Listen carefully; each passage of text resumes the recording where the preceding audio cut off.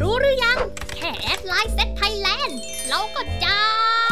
เช็คราคาหลักทรัพย์ได้แบบ real-time chat กับเจ้าหน้าที่ อยากรู้เรื่องอะไร เราจัดให้ ทางลัดสมัคร SET Member แถมใช้ SETSMART ฟรี 15 วัน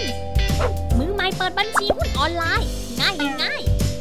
พิเศษสุดๆ แค่ add เพื่อน ก็โหลดสติ๊กเกอร์พี่กระทิง ตัวจริงน่ารักยืนหนึ่งไปฟรีๆจีบแอดมานะ